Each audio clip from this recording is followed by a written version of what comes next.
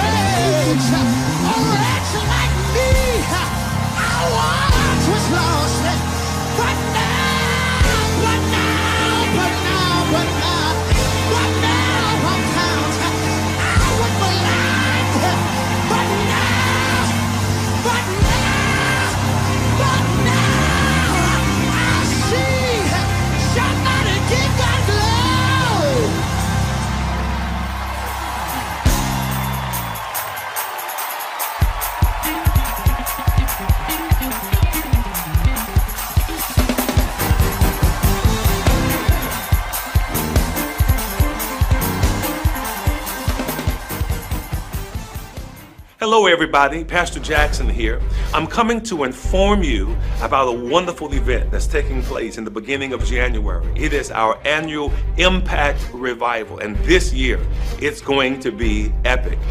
I've invited some of this country's most gifted preachers and musical guests to share with us for three nights of powerful preaching and worship.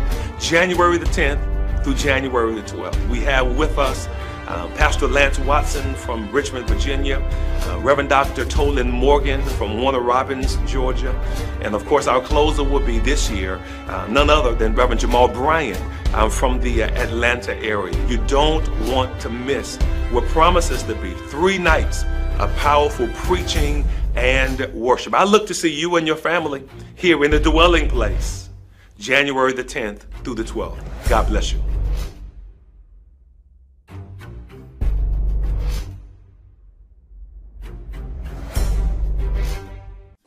Morning, everyone, and welcome to Antioch Virtual Church. I'm Kiara Lynn. Thank you for joining our New Year's Eve service today. God has brought us from the first day in January to today, the last day in December, and we've come to give Him all the glory for being such a faithful God. Don't forget to like, share, and most importantly, subscribe to our channel to receive news and notices across the AVC network. Share the link, send up stars and hearts too.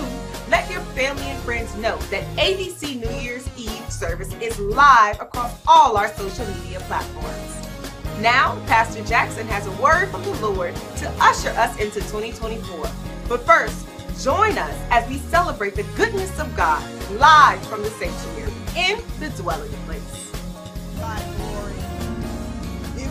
Grateful that you made it from January 1 to December 31, come on and give him praise. Even at home, if you're grateful just for life, come on and make a joyful noise to our God. He is so incredibly good. In the midst of every trial, every test, every storm, you're here. You survived it. Can somebody give him an I survived it praise? We give you glory, oh God. We trust in you because you are our rock. We give you praise, oh God. There's nobody like you in all of the earth. We bless you. We give you praise. Hallelujah. Hallelujah. You're worthy, you're worthy, you're worthy, you're worthy. Hallelujah. I will trust the Lord all my days, all my days. I will trust in the Lord all my days, all my days, and I will be satisfied with you. Hallelujah. I will be satisfied with you. Yes, I will. I will be satisfied with you. Yes, I will.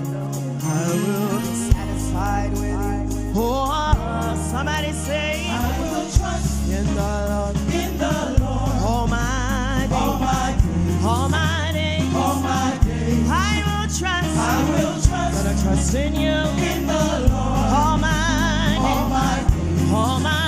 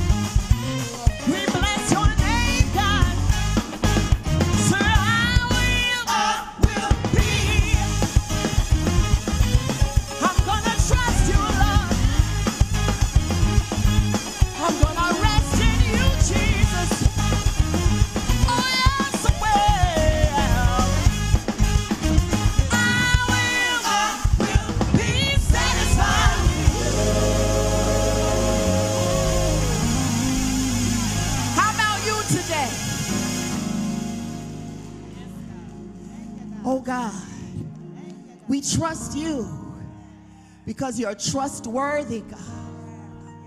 You've never failed us. You've never left us. And you'll never leave us. And so we just want to bless your name just for who you are. Oh God. If you're grateful for the living water that lives on the inside of you, would you just take a moment to give him worship? Come on, right there where you are. Just begin to bless name. We adore you, Jesus. For only you can satisfy my heart. Only you can satisfy my soul.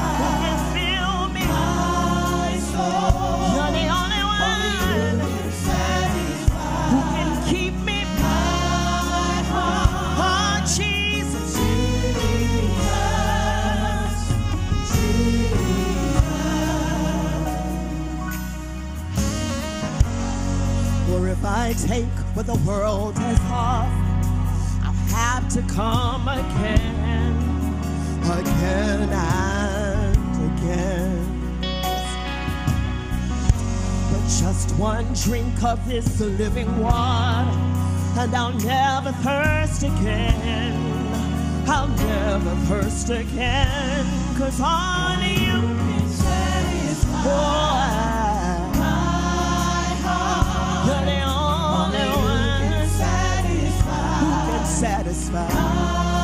who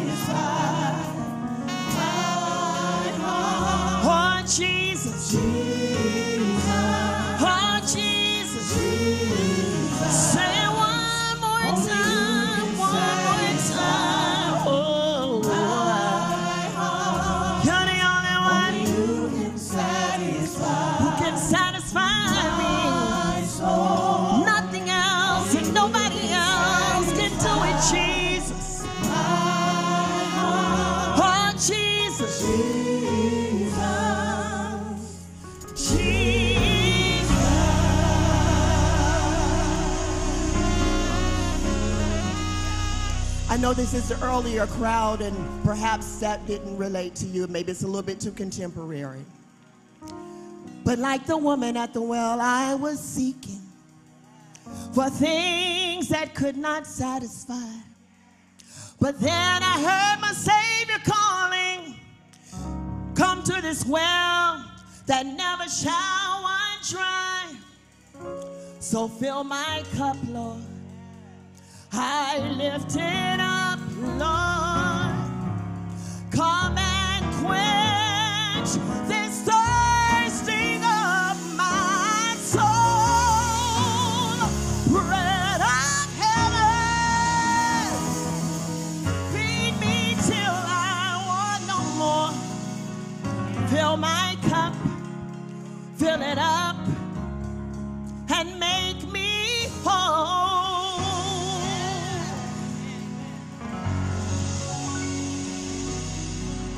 Come on, there's a good place to give God praise this morning.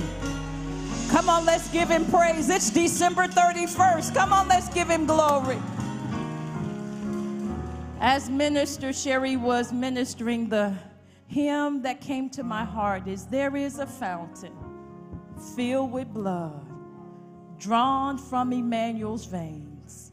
Sinners plunge beneath that flood, and they lose their guilt and stain they lose their guilt and stain. Can somebody give God praise this morning? That we've got a fountain that we can go to that will never run dry. It satisfies our soul. And I'm so glad that He stands at the door and bid us welcome. That if we draw nigh unto Him, He will draw nigh unto us. Can you say that He has been drawing nigh to you over 2023? Has he satisfied your soul over 2023? Well, you don't sound like satisfied people to me. I what the Bible says, let the redeemed of the Lord say, hey God, let the redeemed of the Lord say so. I don't know about you, but God brought me through danger, seen and unseen over 2023. And for that we bless his name. I have the awesome privilege of standing before you this morning to greet you in the name of Jesus. That name that every knee shall bow and every tongue confess that he is Lord. But I also have the distinct pleasure of welcoming all of our visitors. And so, if you are visiting here on December 31st, 2023, God brought you 365 days. We want to acknowledge you here in the dwelling place. So, if you would stand, please, all visitors, let us acknowledge you properly. All right, thank you. Thank you for not being shy, sir. I see you up in the balcony. Good morning. Amen. All of you in the back, all of you on this chilly morning, and to our councilman who is here with us this morning, we greet you in the name of Jesus. On behalf of our pastor, the First Family, all of the leaders and officers of this church, we recognize that there were many churches that you passed on this chilly morning, but we are so happy that you elected to be with us here in the dwelling place. There will be an opportunity that at the right time, we pray that as the Lord prompts you, that you have an opportunity to give God your heart, but more certainly the pastor or minister your hand. We would love for you to join us. If you are a first time visitor, at this time, we're going to ask that you remain standing and all others you may be seated in Jesus' name. Any first time visitors, God bless you, my brother. Someone is coming to you right now with a welcome packet so that you may be properly greeted to our online audience. Thank you. Thank you for joining us this morning. We welcome you here. And we'd like to encourage you as a visitor to text visitor to 51555. We want to acknowledge you on this day. And I promise you, someone from this wonderful church will be getting back with you. At this moment, guys, would you please stand on your feet? Let's rise to the occasion and let's greet our pastor. Amen. This great Well, day God in bless your family. name. Are you blessed today? Do me a favor, turn to three people and tell them, neighbor, I'm so blessed. Come on, find three different people and say, neighbor, I'm serious, I'm so blessed. And if you're blessed, if you're blessed, put those blessed hands together and give God the best, blessed praise you can in this house today. Come on, y'all, that's it. Amen. You may be seated in the very presence of the Lord. Well, this is the day that the Lord has made. I've come to rejoice and be glad in it. Has the Lord been incredibly good to anybody else in the building? Come on, if He has, give Him a grateful hand clap of praise. Come on. Come on, if you're grateful that He's brought you from the first Sunday in January, come on to the last Sunday in December. I'll try one more time. If you're grateful, if He brought you from January 1st to December 31st, come on, open up your mouth in this place and give God some praise. Amen. Amen. One of the things that I'm so grateful for is for all of the persons watching online across the country. Thank you so much for being with us. Thank you so much for being with us in person, our visitor brother. God bless you and those in the balcony. Please don't let this be the last time that you choose to worship with us. And if you ever get tired of visiting, just stop visiting. Join and be a part of us. We would absolutely love to have you a part of our of our family. Listen, we're going forward uh, in our services. I'm excited about today. Our end of the year service will be tonight at 10 p.m. You don't want to miss that. Touch your neighbor and say, You got to be in the place. You got to be in the place. You didn't say it, say, You got to be in the place tonight. Uh, 10 p.m. Our doors will open at 9 o'clock um, p.m. Come early, get your seat. Amen. If you're coming with a family, y'all don't take separate cars. Y'all pile in one car. Uh, and uh, let's ride together uh, as a family. We've secured remote parking around the building. We have carts and that will take you. We're about parking far. We have carts um, that will take you. We have lights on remote parking um, lots. We have men that will walk the ladies back to their cars. Amen. Somebody to make sure that y'all gonna be safe.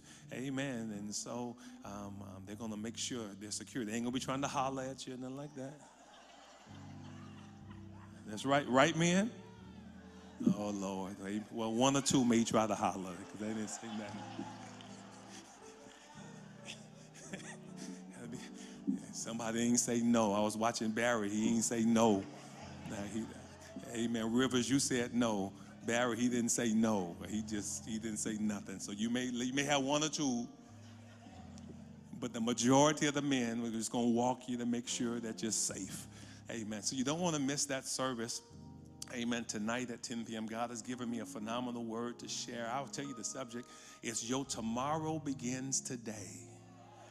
Oh, you don't want to miss that. Your tomorrow, your tomorrow, your tomorrow, your tomorrow begins today. That's what I'm going to be talking about tonight at the 10 o'clock service. So you don't want um, to miss to miss that. And of course, we have our Impact Revival um, that will start January the 10th through the 12th. Uh, we have three dynamic preachers that will be sharing uh, Dr. Lance Watson from the St. Paul's Church in Richmond, Virginia, uh, Dr. Tolan Morgan uh, from Warner Robins, um, Georgia. He's just a beast, he's a phenomenal preacher. And of course, our closer will be Reverend Dr. Jamal Bryant from the um, New Birth Church in Lithonia, Georgia. Uh, he's going to be with us. And I'm excited about our, uh, our health fair um, that will be on January the 13th, that Saturday. I want you to come out. Uh, we have medical professionals who have lent their time and their expertise that will be pouring into us. And uh, it's bad to invite people and we are not there. So that's going to be on January the 13th. I'll give you more information concerning concerning that. Listen, I want to keep the service moving and we're praying for members uh, of our of our church. Uh, we're praying um, for um, just Sister George, we prayed for you, uh, Sister Marlene, and when the transitioning of your sister. Glad to see you and your husband uh, in church. Sister Batty, we prayed mightily for you over the last few weeks. We're good, glad to see you uh, in church. Beverly, we prayed for your mother, um, Sister Lily, and she's home. Amen. Somebody, can we give God praise for that? She's home. Amen. So I give God praise uh, for that. And while we're praying for them, there are others who are going through uh, just difficult seasons. Um, the Houston Cheney family had death in their family. We're praying for them. Uh, Minister Carol Richardson had death in her family. We're praying for the Richardson uh, family, Sister the Ladat family. Uh, we're praying for others who are just going through um, just hard times and difficult, difficult seasons. I want to read one more um, Deacon Milton, you, you sent me a message. Let me see. I forgot that name already. Uh, we're praying Linda Jones, uh, the kidney transplant. We're praying for um, them. Um, um we're asking that God would be with the Williams um, family and, and, others are going through um, just difficult times and, and difficult seasons. God is a healer. God is a healer. I, I want to, one of the things I'm going to say in my sermon tonight um, is that the children of Israel had to deal with a lot of death as they were traveling in the wilderness. You know, but the good thing was it was going to be behind them, that God was going to move them beyond the pain of their past. And I want to release that word right now that it's been a painful year uh, for many people listening to me online and even for those in the building. It's been a difficult year, a hard year. But the God that we serve can move you past your hurt can move you past your pain. How many really believe that tonight? If you believe in prayer and you want to stand in the gap of prayer for someone else, the altar is open. You can come around the altar and come on, let's talk to God in prayer, in prayer this morning. Come on, if you need prayer, prayer still works. Prayer still works. I'll say it again prayer still works. Thank you, Lord. Pray for me.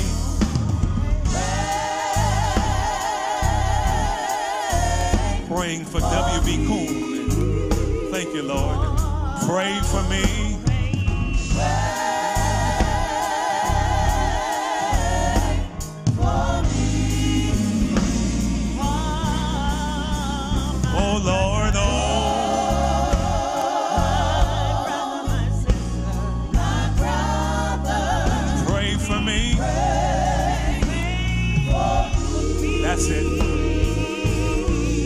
You, Lord.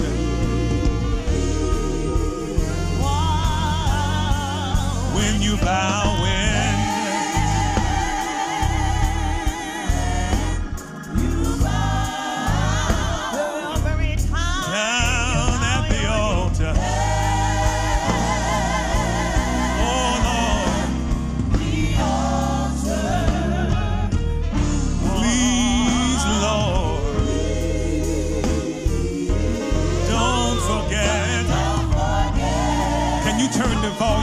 your praise. Come on, all over the building. If you need prayer, believe that God can do it for you. Come on, open up your mouth and say it like you mean it. Oh, pray for me. Pray for me.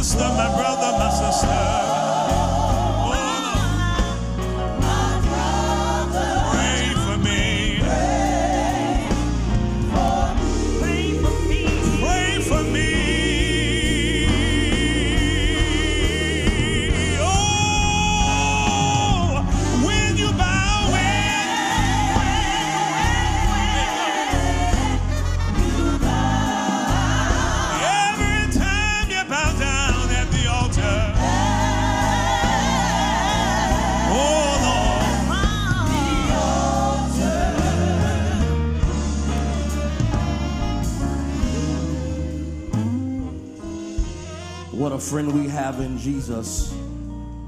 All our sins and griefs to bear. What a privilege it is to carry everything to God in prayer. Have we trials and temptations? Is there trouble anywhere? Jesus knows our every weakness. Take it to the Lord in prayer. Father, in the name of Jesus, it's once more time and again that we come together to give your name praise, glory, and honor for all the things that you have continued to do in our life. First of all, we ask you, God, that you would forgive us of our sins and forgive us of those things, God, that we've done that were uncontrary to your word. And we pray to God for your grace and your mercy that pleads our case. So, Father, in the name of Jesus, we come this morning to tell you thank you. God, from the rising of the sun to the going down of the same, that your name is to be praised. So, Father, for that, we lift our voices in this place. None other than God, just to tell you thank you. God, because you've been good to us. God, you've been merciful and you've been kind. Father, this year has been an incredible year. Many did not make it, but Father, we thank God for those who are standing around the altar. Father, someone has lost a loved one, someone has lost their job, someone has lost their way. But we thank you, God, in the name of Jesus, for giving us the wherewithal and the ability to stand and to having done all but to stand. In the name of Jesus, Father, we thank you all the way from January 1 to December 31st. Somebody, dear God, fell by the wayside. But in the name of Jesus, we thank you for healing. We thank you for covering. We thank you for protecting us. We thank you for being our unseen companion, God. So many have lost loved ones along the way this year. But Father, you let us know, God, in your word, Father, that you will never leave us nor forsake us. So, Father, in the name of Jesus, we thank you now, God, for the power that's invested in your word. So, Father, in the name of Jesus, we ask you now in Jesus' name, Father, that you will continue to love on us, that you will continue to hold us, that you will continue to shield us and protect us. Father, we pray, to God, for those names that are on the prayer list. We pray, to God, for those, dear God, that were mentioned this morning, dear God. We pray for the Moore family. We pray for the Begot family. We pray, dear God, for the ministering, dear God, of those, dear God, who came into the building on today. So, Father, in the name of Jesus, somebody was sick, dear God, but you brought them back to the household this morning. Somebody was on the bed of affliction, but we thank you, God, for healing their body. We thank you, God, for being the healer. We thank you, God, for being a sustainer.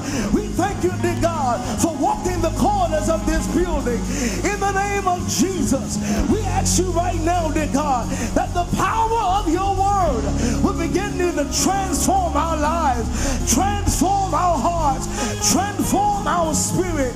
In the name of Jesus, we ask you now, God, that you continue to open up windows, dear God, and pour us out blessings that we not have room enough to receive. In the name of Jesus, dear God, we pray for those who are standing around the altar. Somebody needs you for one thing, and somebody needs you for another. But we thank you for healing. We thank you for delivering. We thank you for touching. We thank you for breakthrough. In the name of Jesus, right now, Father, we thank you, dear God, for the set man of this house. We ask you, God, that you will touch, dear God, our pastor in the name of Jesus. Give them spiritual insight, dear God, to run on and to see what the end is going to be. We ask you now, God, in the name of Jesus, God, that you would do it now, dear God. We're not going to wait until the battle is over, God. We're going to praise you, dear God, for what we're going through now. We're going to praise you, God, because it's not going to be like this always. We're going to praise you now, God. We're going to praise you now, God, in the name of Jesus. In the name of Jesus. And when you do it, God, we won't be able to, God, to sit there and act like you ain't done nothing. Sit there and act like you're not going to move. We're going to praise you. We're going to praise you. We're going to praise you. We're going to praise you. We're going to praise, praise, praise. In the name of Jesus. In the name of Jesus. In the name of Jesus. In the name of Jesus. We send it now. We send it now. In the name of Jesus. We pray this prayer in Jesus' name. Amen. Amen. And amen. Come on, touch somebody. Say it's already done. Come on, touch your neighbor. Say it's already done. It's already done.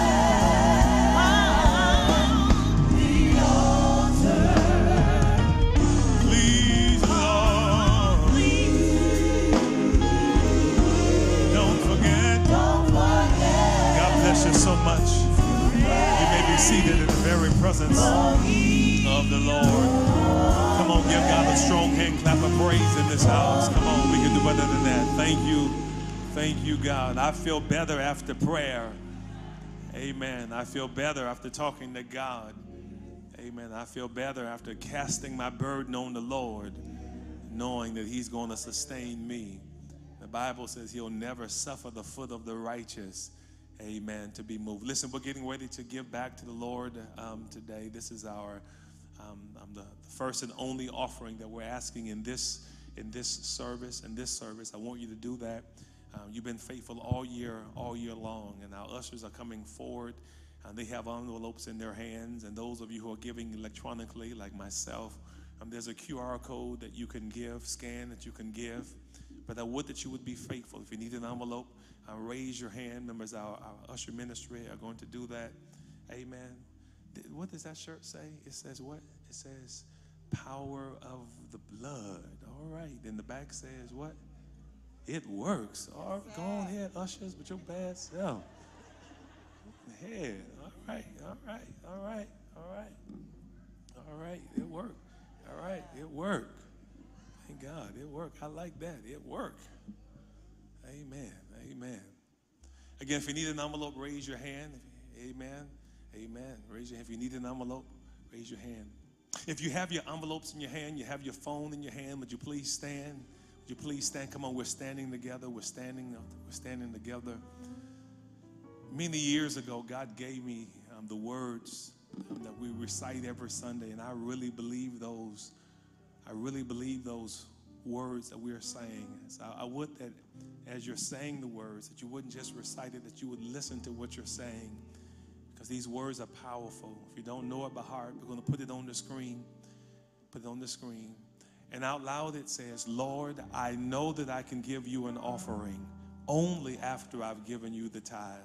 My giving reflects my total dependency on you and my obedience to your word. Though this seed leaves my hand, I believe by faith it will never leave my life. I will trust you, O God, by honoring you in my living and in my giving. And by faith, I now stand in obedience to have blessings released, burdens removed, and benefits restored in my life. In Jesus' name, amen. Come on, let's walk around. Sister Brown, loosen up your left ankle. Amen. Got your boots on. I see you. Got your boots on. Let's walk around together. Over.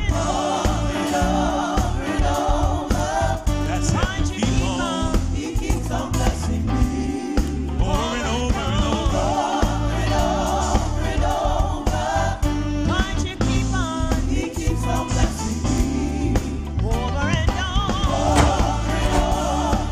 Hey, good morning, everybody. Pastor Jackson here. I stepped out of service to once again thank you so much for worshiping with us today. I know that you've been blessed already through the singing and praising of God, and you're going to be blessed today by a tremendous word from the Lord. But I want to take this opportunity to invite you to be back with us tonight for our watch night service. It's going to be a blessing. God has given me a phenomenal word entitled Your Tomorrow Begins Today. You don't want to miss that. That's tonight at 10 p.m. So tell Lottie Dottie and everybody that all roads lead to the dwelling place tonight. Hey, I'm going back into service. Thank you so much for worshiping with us today. God bless you.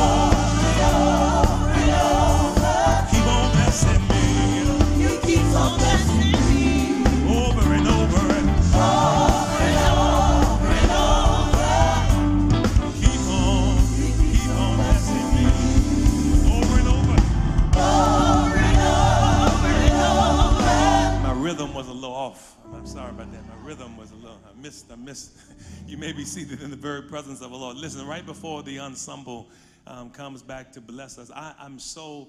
I'm so excited. Um, I'm so excited about um, what's getting what's getting ready um, to happen. I shared with you um, earlier this month that for the month of December, uh, Pastor Robinson and I and the staff take opportunities to plan for the new year, and I'm excited about that. We are releasing our theme for the year, uh, which is greater impact, and I'm going to hear me talking more about that in the upcoming in the upcoming weeks. But I'm excited because it gives me an opportunity to have some phenomenal preachers and teachers to come share, and none greater than this brother today. I, I admire him, uh, admire him so, so much. God has richly deposited in into him. For the past 27 years, I believe, he's been the senior pastor teacher of the Fountain of New Life Church uh, here in Miami Gardens. And uh, today, today, today, today, going to be preaching his last sermon at the Fountain as the senior pastor there. Amen. And so, amen. Come on, we give God the praise for his faithfulness. So he's a, he's a tremendous cyclist. And so uh, the other day, as I was struggling to keep up with him, amen, on one of those long 20, 30 mile rides, I said, listen, why don't you come over here and, and um, get the wrinkles out, get the kinks out of that sermon. Amen. Iron it out. And he consented to come with us today uh, to preach for us today. I'm so excited. Dr. Wayne Lomax is a tremendous preacher, teacher of the gospel. Can y'all show some love? Come on, come Antioch, show him some. hot- Come on, Antioch, let's welcome the man of God.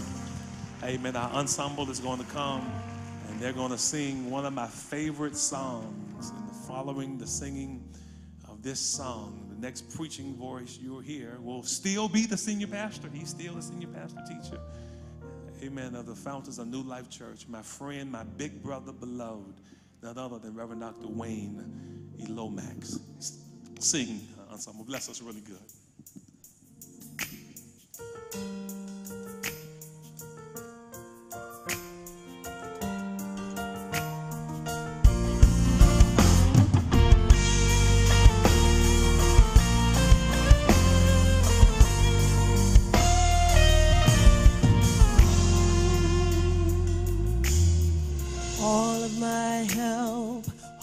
Of my help, all of my help comes from you, my Savior.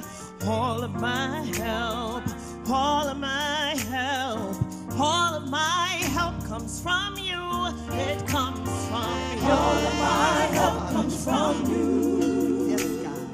You are the one that my heart is drawn And to. when I am In weak, times of weakness, my strength is weak my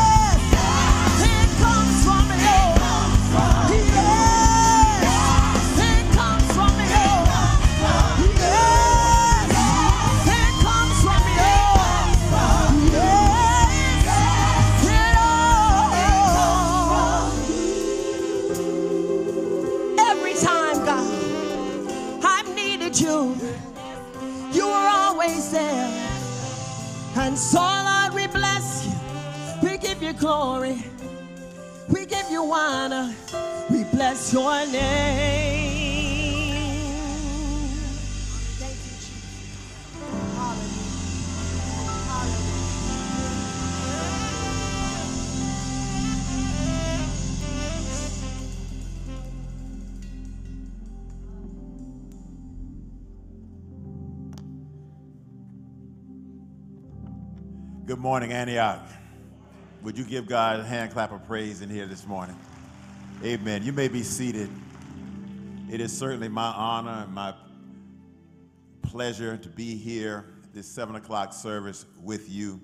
Um, it, what can be said about the Antioch Church here in Miami Gardens? All of us who are in ministry and many of us who live in this community know the significance and the importance and the value of this great church. And I just want to give God thanks for you, for the witness and how you serve your congregation and your community so well. So won't you give God thanks for yourselves and for the importance of this church. So many people I know, Congress, Councilman, good to see you. Dr. Pickens, so good to see you today. So many of you, um, Minister Sherry, God bless you, and to the ministers of the gospel, God bless you, Marcus, Nate, so good to see you uh, today.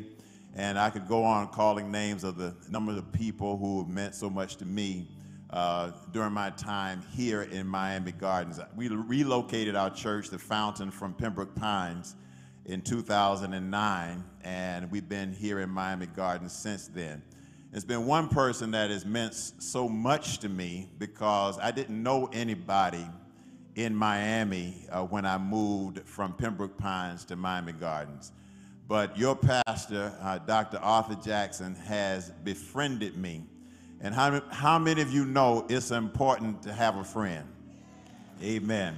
It's important to have a friend. Now, he's not an honest friend, he a he's a dishonest friend. Because when he said he was struggling to keep up with me on a bike, now you guys know how much your pastor loved to win. Amen. and so he, was, he wasn't struggling at all, but he did extend to me the invitation to come and to share a word with you this morning at the 7 o'clock service. And for that, uh, Pastor Jackson, I am so grateful and I appreciate the opportunity to come and share uh, with this great congregation today. And so, if you don't mind, um, if you're turning your Bibles to Matthew chapter uh, 16, verse 18, Matthew chapter 16, verse 18, I, I want to thank uh, my armor bearer, uh, Brother Guyton, for coming and being with me early this morning. Amen. I appreciate him. And um, Matthew chapter 16, verse 18. And it says, um, I tell you that you are Peter, and on this rock I will build my church, and the gates of Hades will not overcome it. You may be seated. Amen. Amen. Today I'd like to talk uh, from a topic Who is the church? Who is the church? Um, anybody go to the Orange Bowl yesterday? well, in section 148, it's almost right there on the 50 yard line. This man was sitting there, and he was a Georgia fan. I guess he got his money's worth yesterday.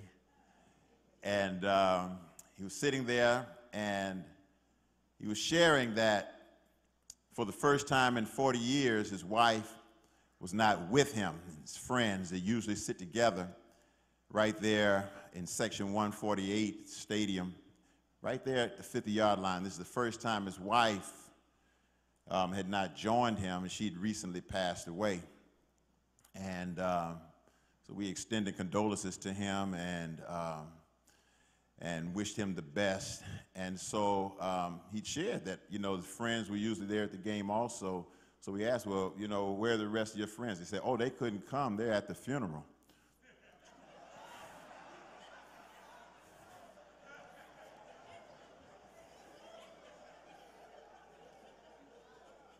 So you can take that any way you like.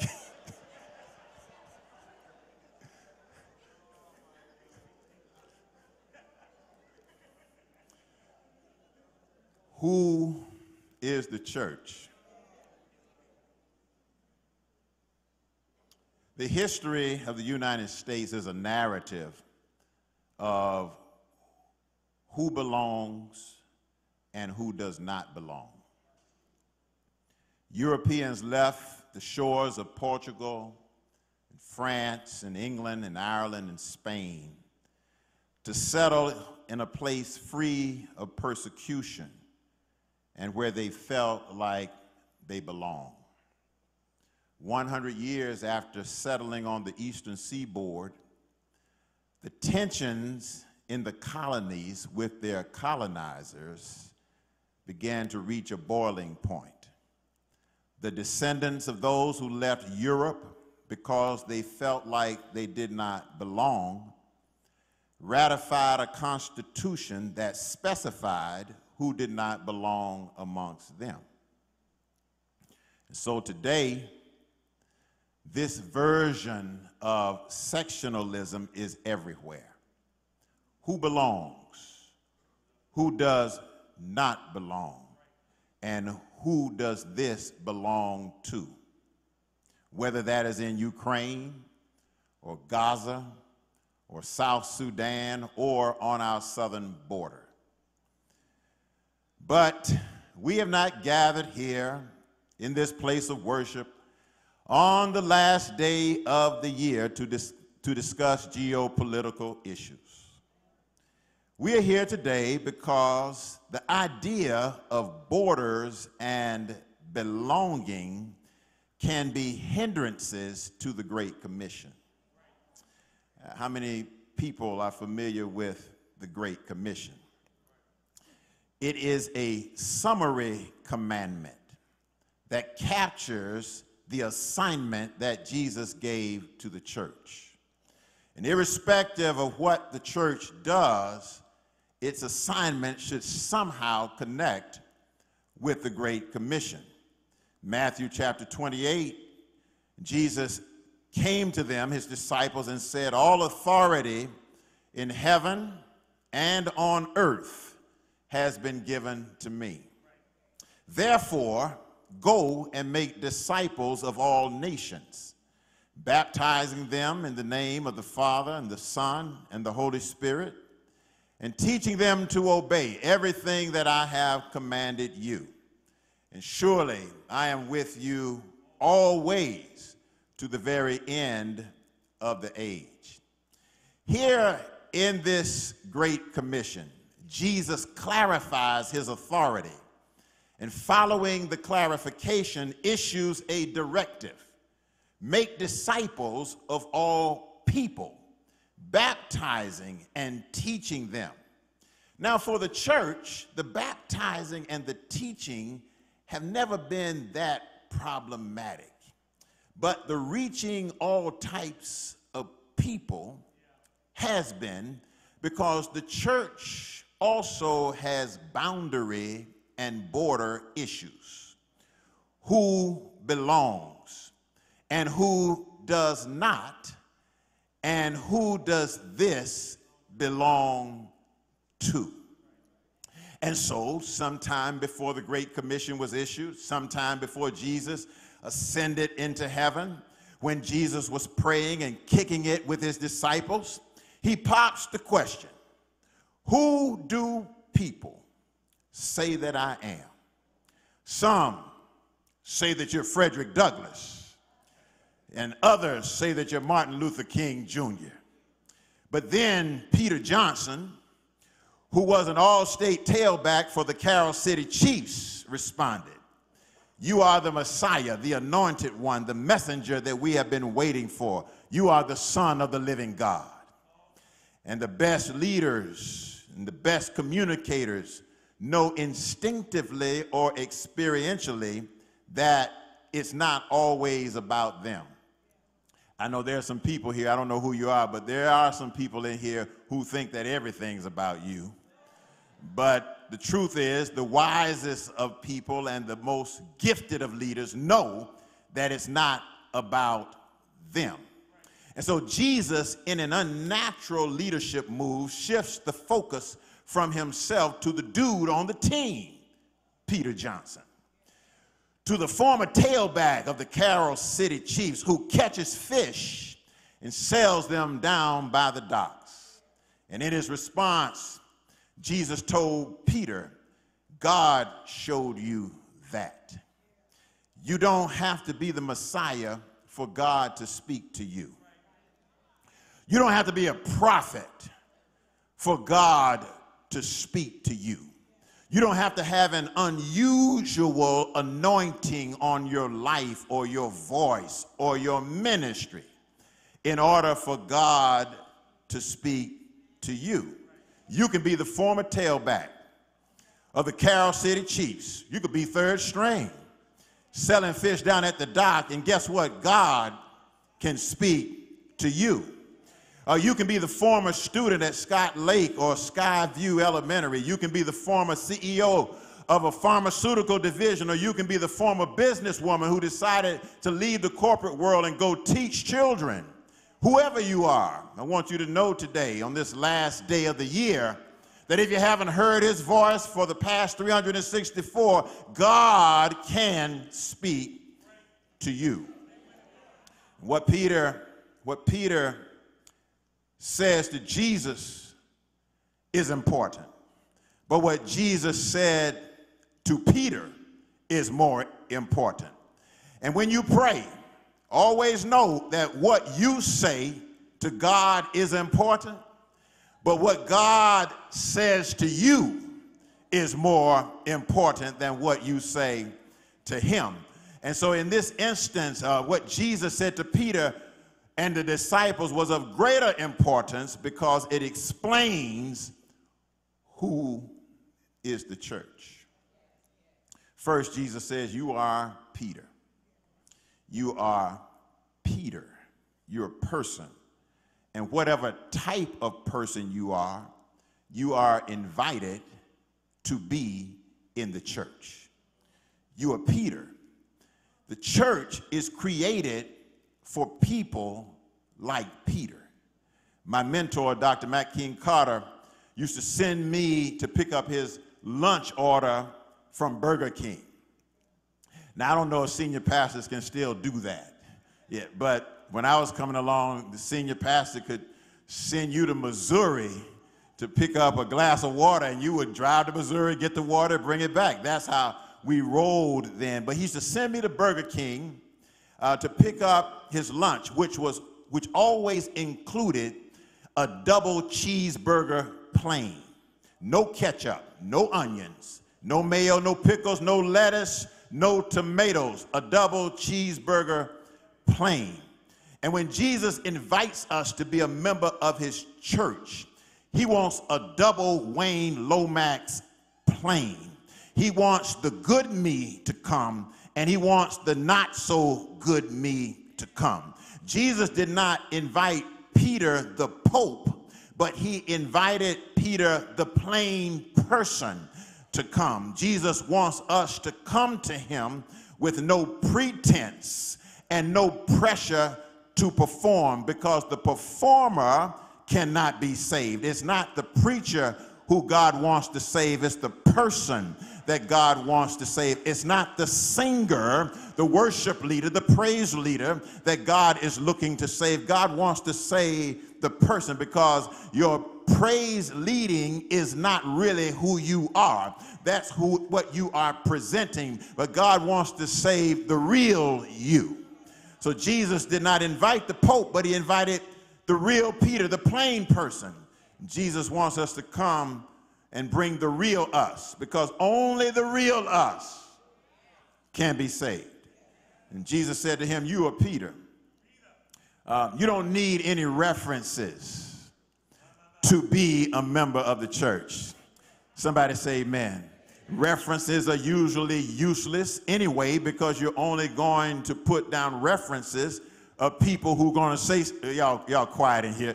You you're not going to put down a reference of somebody going to tell the truth, the whole truth, and nothing but the truth. They're basically useless. So you don't need a reference to be a member of the church, the most important organization on the earth, and you don't need a reference to be a member of the church. You don't have to be a superhero to fit in. God is not trying to save Superman. He wants to save Clark Kent. He's not trying to save Batman. He wants to save Bruce Wayne. He's not trying to save the Black Panther. He wants to save T'Challa. He does not want the performer to come. He wants the real person, and there are very few places where the real person can go any place and be themselves. But that is who is supposed to be a member of the church, are the real folks are supposed to show up at the church. In her book, Finding Me, Viola Davis tells the story of how she told her mother about how she and her sisters in their childhood experienced sexual abuse at the hands of her brother. She also talks about being baptized in the church and serving as an usher in the church. You see, the church is not for the Academy Award winner. It is not for the decorated actress that has won every type of performance award that there is to win, but the church is for Viola. It is for the Viola that Jesus knows and that Viola knows. And like Peter and Viola, Jesus invites the plain you and me to be in the church. And Jesus said to Peter, um, You are Peter. Somebody say, You are Peter. You are Peter. And upon and on this rock, I'm going to build my church. Not only is the church for people like Peter, but the church is constructed with people like Peter. It's put together with people like Peter. There's a National Geographic show called Below Zero. And it features in one episode a man who lives in Alaska. And this man who lives in Alaska uh, is going to rebuild his house. And so he travels up the river to find some railroad ties. Anybody know what railroad ties are? I know things have gotten, they've changed so much. Most of us don't know anything about railroads anymore. Used to be a time that you understood the demarcation of a community by where you lived in relationship to the rail, y'all quiet, relationship to the railroad tracks. And if you lived in the country, many times if you're going to get from one place or another, you didn't have a car, you had to catch the train. But on the railroad tracks, there are these pieces of wood that are pretty big and thick called railroad ties. And so this man in this episode of Below Zero takes his boat and travels down the river and he fills his boat with railroad ties. And so in the episode, he takes each of these 200 pound railroad ties, puts them in his boat, and drives them back up the river to the site upon which he's going to build his house up on the hill. And so, what the man does, he takes each one of these 200 pound railroad ties and he lifts them up physically by himself. Just a slim guy. He wasn't a big guy, wasn't a muscular guy. He was a real slim guy. He's trying to figure out how he's going to do it. And so, he hoists each one of them up on his shoulder and he walks up a hill to the site where he's going to build his house. The railroad ties were difficult, they were dirty. They spent most of their life uh, uh, below the level of which they could ascend. They were below their potential, but now they have been collected and carried, and they're going to be converted by a man who has gone and fetched them, put them in a boat, and is going to walk up a hill and convert them from a railroad tie into a place where people are going to gather and eat bread and give gifts and pray for each other and support each other and encourage each other. In other words, he's going to take them from a place where they had been relegated most of their life and bring them to a place where they're going to be able to serve and bless. They're going to do what they never thought that they could do. And so, um, Jesus, when he builds the church, he builds it with refurbished material. In other words, before you meet Jesus, you were somewhere on a railroad track, nailed down under some rails, watching other people pass by. But Jesus comes and picks us up, takes us to a site, washes some of us, marinates other of us, disinfects the disease, and strengthens those of us who are shamed and sorrowful. And he does it all by the power of his blood that he shed on a hill. He redeems us with his blood and he builds a house called the church. I know that, and I'm fascinated by this building. I think this, this building is mag, magnificent, and I commented on it when I saw your pastor. I said, man, this is, the view is so different up here than it is out there. But you know what? Whatever we are experiencing physically here, this ain't the church. This, this is not it. As a matter of fact, we know what people mean when they say, I'm going to church, but you can't really go to church. You can only be the church. And so many people for centuries have gone to church as opposed to allowing Jesus to allow you to be the church. And so he redeems us with his blood, builds a house called the church with the blood stained and the blood bought people like Peter, who, by the way, are difficult. Oh, y'all quiet. I know what you say about yourself. I'm blessed and highly favored. Yeah, I, I know. I'm blessed and I'm too. Listen, I know what you say. I'm too blessed to be too blessed to be stressed. But some of y'all got to be stressed as mean as you are. You just got to be stressed as irritable as you are. You got to be stressed to leave your ministry post for two or three months and don't tell your ministry leader that you're going to be at. You're something, something got to be wrong. But Jesus constructs the church with people like Peter, and many people leave the church because you're looking for somebody in a comic strip. You're looking for somebody in a fairy tale and in a novel and in some short story and in some uh, uh, uh, book about being healthy and wealthy and prosperous every day. But Jesus builds the church with people like Peter difficult people, intelligent and impulsive, dependable and duplicitous. That means double minded. You, you really don't know what you're going to get from day to day. Compassionate on the one hand, but cantankerous. Y'all ever know anybody who's nice, but they make you pay for the niceness? Yeah, yeah, people like Peter who are who are timely on time, but yet they late also for whatever they don't want to be on time for. Well adjusted and disciplined on the one hand, but addicted to sex, money, and power on the other. And if you're under 12, addicted to Roblox.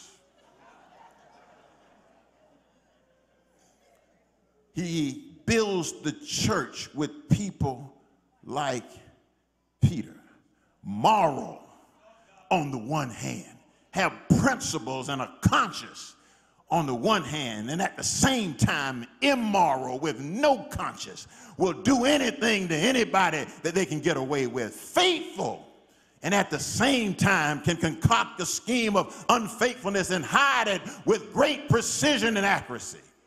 Kind and compassionate, and at the same time, cold and callous.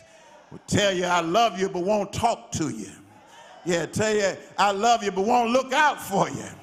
Yeah, yeah, uh, loyal, but at the same time will leave you to fend for yourself. I'm not talking about just Peter. I'm talking about us. I'm talking about me. I'm talking about you. Yeah, uh, this is what Jesus, this is the best he has. He builds the church. And for those of us who are coming to church looking for the perfected community, hey, listen, you got the wrong crowd. This is the crowd of people that's just been blood washed, but we got imperfections all coursing through our veins. And so the church, the church, somebody say the church Jesus did not and will not build his church with treated pine and cedar and mahogany and oak. He builds his church with railroad ties dug out of the dirt, cleansed by his blood, and constructed into an assembly of people that he calls his body. The church is the plain people, not the performers, whose lives are changed on the hill called Calvary by the Son of the living God, whose blood cleanses us until we are sufficiently useful. Come on now. I'm not saying sufficiently moral. I'm not saying you are sufficiently uh, perfect. You're not sufficiently developed, but you are cleansed until you are sufficiently useful to be used by God and others. In other words, He does not want the imperfections that are in our life after we've been a part of the church to prevent God from using us. Somebody say amen. And so that says that once you become a part of the church, you're obligated to allow God to use you uh, to be a blessing to the kingdom and to others. And then finally, Jesus said, Jesus says, You are Peter, and upon this rock, I'm going to build my church. And then he says, And the gates of Hades, King James Version said, The gates of hell. Y'all can say hell in church. Y'all say it out of church. Y'all can say hell in church. But the gates of hell will not overcome it. And what he's saying is that the church conquers with people like Peter. Peter. Yeah, these are not superheroes. These are plain people with flaws and errors and mistakes and, and, and got a past. And even the present is not a perfect picture of who they aspire to be. But he, he conquers. He conquers with people like Peter. Yeah. There's a story of the former Florida State Heisman Trophy quarterback, Charlie Ward. How many of y'all remember Charlie Ward? Charlie Ward. And Charlie Ward received a call from NFL quarterback Doug Williams. How many of you remember Doug Williams? And Doug Williams called Charlie Ward when he was at the peak of his powers as the quarterback of the Florida State Seminoles and the starting point guard on the Florida State Seminoles basketball team. And he called Charlie Ward to ask him to look out for a new student who was coming to Florida State to play football by the name of Warren Dunn. And Warren Dunn was coming to Florida State as a highly decorated running back from Louisiana, whose mother was murdered two days after his 18th birthday. So here he is, a graduating senior in high school, 18 years old, and two days after his 18th birthday, his mother is murdered. Warren had, listen, Warren had no control over his mother's death. Warren did not choose to be left with his siblings that he had to care for as a college student. He did not choose to feel the brunt and the weight of his circumstances and fall into depression trying to deal with being a college student, a surrogate parent, and also grieving the loss of his murdered mother. But Warren Dunn was chosen, somebody say chosen, was chosen by Charlie Ward. The call was made by Doug Williams to Charlie Ward. Charlie Ward said, I'll do more than look out for him, I'll be his roommate. And so Charlie Ward was a church guy. Somebody say church guy. He was a church guy. He was a church guy. And he uh, said, I'm going to be Warren Dunn's roommate. Charlie Ward then allowed Warren Dunn to grieve the loss of his mother in their dorm room. Uh, he, he didn't judge him for his aberrant behavior because sometimes when you're grieving, you don't act right. Y'all quiet. Sometimes when you've had a tremendous loss, depending on the magnitude of the loss, you don't act right. But he allowed him to grieve. He was Christian enough to listen without giving instruction. I wish I had two or three people in here that know sometimes you don't need a Bible verse. You don't need direction. You don't need anybody to know the benefit of the road that you are traveling. Sometimes you just need to use the two ears that God God has blessed you with and listen and allow the person to share the travail that they are experiencing. Sometimes they don't want to answer, they just want somebody just to listen to what's going on in my life. Charlie Ward allowed him to grieve, and he allowed Warrick Dunn to express his contradictions in his life where he's a success on one hand. He's a tremendous, unstoppable running back, tremendous talent on the one hand, but there are contradictions and moral failures and, and there are pitfalls and mistakes. And, and Charlie allowed him to live through that without judgment. Yeah, that's what the church is called to do. You know, you don't always have to find a verse of scripture to identify somebody's mistake. Oh, I wish I had some help in Antioch this morning. Sometimes you need to give a person the room to live through this time in their life. They're on their way if you just give them the space. And with Charlie's help, Warren Dunn was a conqueror. Well, I know everybody who's a Christian wants to be a conqueror. You want, you want to be a conqueror, but sometimes God wants to use you to help somebody else conquer what they're going through. What am I trying to say? The church is an assembly of triumphant people who are called to help other people experience the triumphant power of God through Jesus Christ. Y'all mind if I quote some scriptures? Is that all right here in the church? Yeah, Philippians chapter 4, verse 13 says, I can do all things. That's the language of triumph. Doesn't matter what it looks like. I can do all things through Christ who strengthens me. I know you're saying I can't do it. You already told and called and posted and told everybody that I can't. It's too big. I don't have enough experience. I don't have enough knowledge. I don't know enough people. But I can do all things through Christ who strengthens me. And your opinion of me is not a prerequisite for my triumph. Come on, I wish I had some. I can do all things through Christ who strengthens me. Can I quote another scripture? John, 1 John chapter 4, verse 4, it says, You do chil- you dear children are from God, and you have overcome them because greater, y'all quiet in here, because greater is he that is in you than he that is in the world. And that's just another way of saying that the power that is on the inside of you is greater than anything that's on the outside of you. I know the circumstances are bad. I know your mom died. I know you got to take care of these difficult, bad siblings of yours. I know you got to go to class. I know you got to go to practice. I know you got to prepare for the game. I know you got to watch film. I know you got to do all that. But I want to tell you something, Warren. Greater is he. All that stuff on the outside of you, you got a power on the inside of you greater than everything on the outside of you. Somebody shout triumphant. Can I quote another scripture?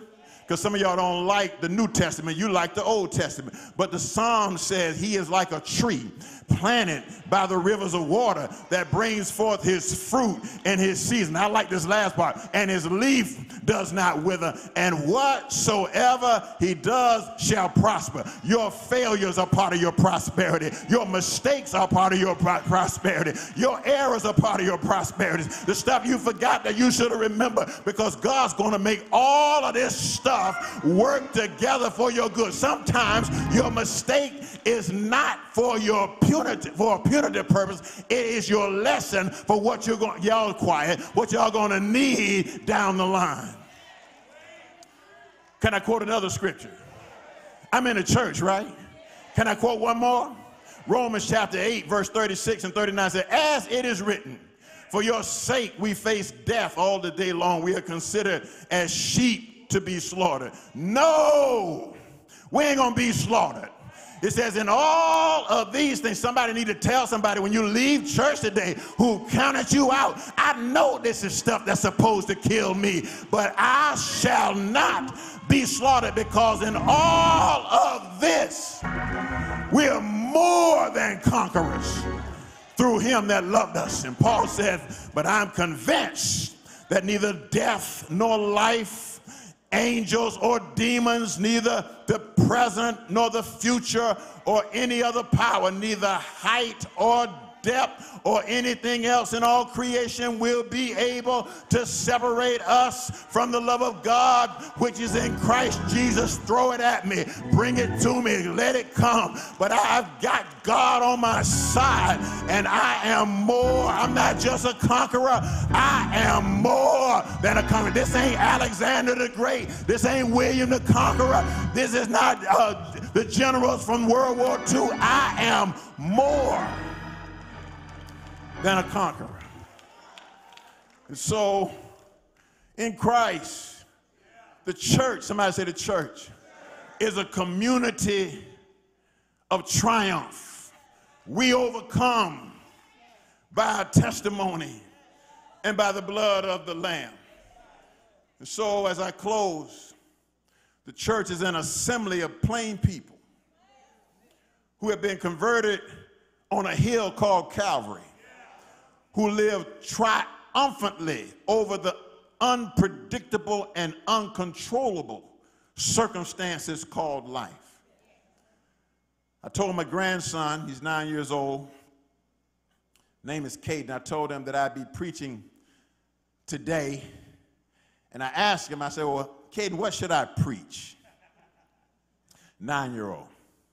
He paused, got quiet. He said, You should preach, Will you commit?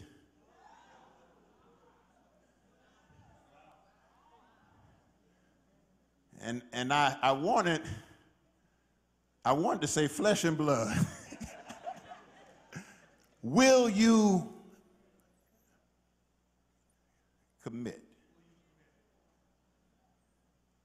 Everyone who's converted on the hill, who's been grafted into the church and given power to overcome, is asked to commit, not to perform.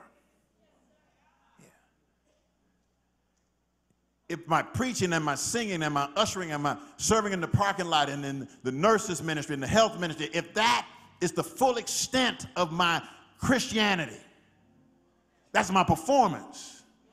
The question is, will you do that and also commit? Will you commit? Not to imitate others, but will you be comfortable with plain old you? and commit to allowing God to live through you? Will you commit? Will you commit not to understanding everything fully? Many of us feel like we have to understand the Bible fully. Can you, can you commit and not understand? Can you walk by faith? Can you trust when you're not sure? Can you hang in there when you don't know? Will you commit? Will you commit by not taking hiatuses from serving, disappearing for a year, not showing up, and then be agitated when somebody asks where you've been? Will you commit? Will you commit not just to thanking God for your financial blessings, for your bonuses and for your raises and for uh, the sales increases, not just thanking God for your financial blessings, but also committing to be a financial blessing. Will you commit not to debating scripture, but to discovering how do I live out this scripture? Will you commit? not to being repulsed and turned off and gossipy about the imperfections of fellow church members. But will you commit to growing in grace? Will you commit? Here's the truth about the church it says that the gates of hell, Hades, cannot destroy it. Now, it didn't say it couldn't be destroyed. Can't be destroyed from anything outside the church. The church can only be destroyed by what's on the inside. But if you commit, you'll be the most attractive, triumphant, valuable, needful assembly in the community. Who is the church?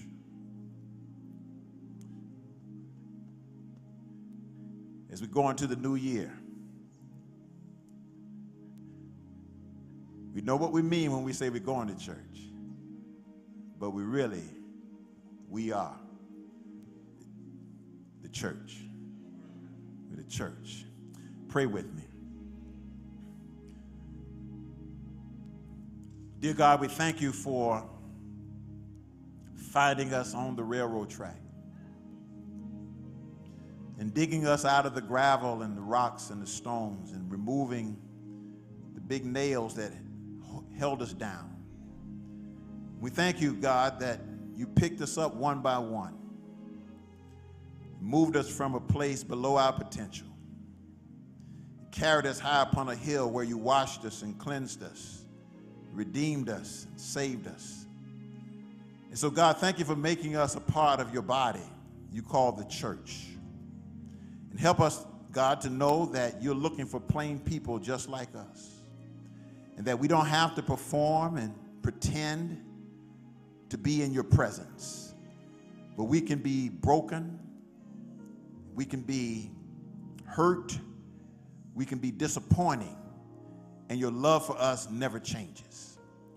God, we pray that you'd help us to remember that you construct the church with broken and difficult people like us, and that the church is not constructed with pristine material, but material with flaws, but you perfect it by your presence and power. And then, God, help us to speak the language and live the life of triumph over circumstances and difficulties and challenges and trials. Help us to see them differently than the world, knowing that greater is He that is in us. And we thank you and we pray in Jesus' name. Amen. God bless you, Antioch. Come on, can we give God a strong hand clap of praise? Amen. Can you stand with me really quickly? Can you stand with me really quickly? All over the building, can you stand with me really quickly? Someone needed to hear this word.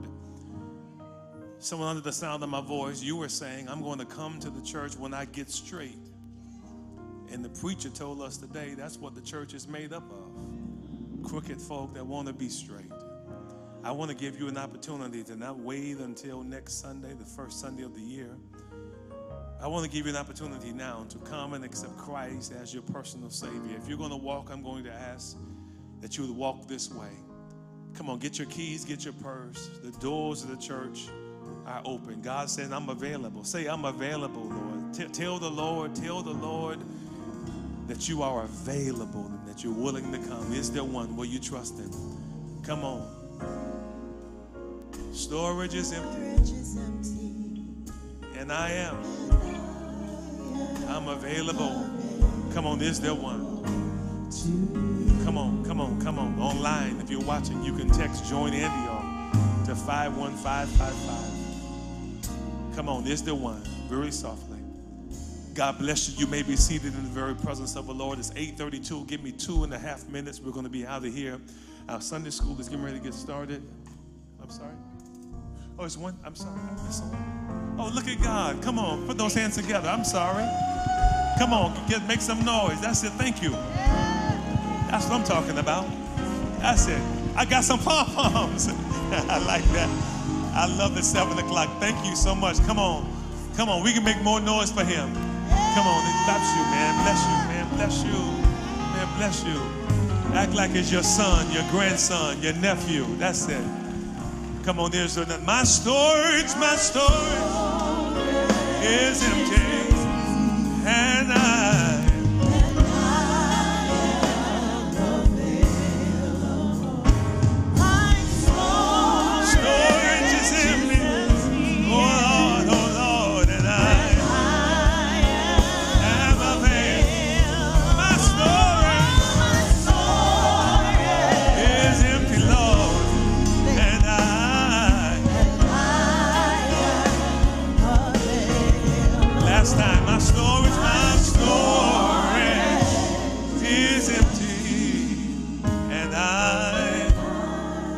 get some men to just circle? Come on, Stevenson, give me some men to circle him. Some men, some men, give some men, give some men.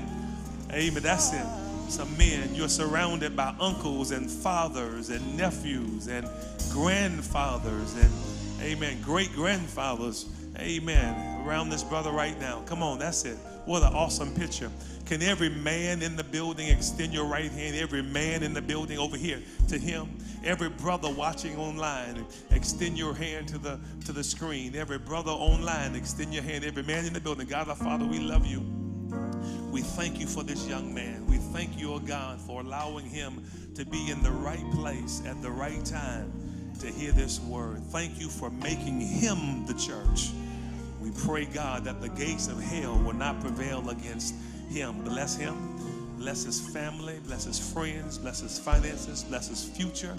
Lord, keep your hands on his life. Satan, the Lord rebuke you now. We plead the blood of Jesus over this young man's life. In Jesus' name we pray. And the church said, Amen. Come on, take, take my young brother to the right. Come on, you may be seated. Amen. Give me two minutes. Amen. Give me two minutes. Come on, A and N. Give me A and N very, very, very quickly. Give me two minutes. Hello, be out of here. everyone. Welcome to this New Year's Eve edition of ANN. I'm your host, Kiara Lane. Whether you're in person or a part of our virtual audience, thank you for having joined our New Year's Eve service. Let's take a look at what's happening around Antioch. On Saturday, January 13th from 8 a.m. to 12 noon, it's our health fair. There will be blood pressure, diabetes, prostate and other screenings, COVID vaccines, and more. We're going to walk, run, and ride, and there will be activities for the children as well. So mark your calendars for January 10th through the 13th. Impact Revival 2024. Three nights, Wednesday through Friday, January 10th through 12th, 7 p.m. nightly. The Dwelling Place. Pastor Lance Watson, St. Paul's Baptist Church, Richmond, Virginia. Nothing uh, God can't make happen. Uh, nothing uh, that God can't solve. No battle he can't fight. Uh, nothing uh, God cannot work. Uh, Waymaker, miracle worker, promise keeper, light in the darkness. Uh, that's who he is. Uh, Pastor Tolan Morgan, Fellowship Bible Baptist Church, Warner Robins, Georgia. That's why you and I are the children of God, because he was wounded for my transgressions, bruised for my iniquities, and the chastisement of my peace is upon him, and by his stripes I'm healed. Pastor Jamal Bryant, New Birth Missionary Baptist Church, Stonecrest, Georgia. A lot of times what people claim to be upset about ain't the real issue. They are real, I'm talking about they big man, That the hand of God is so on your life.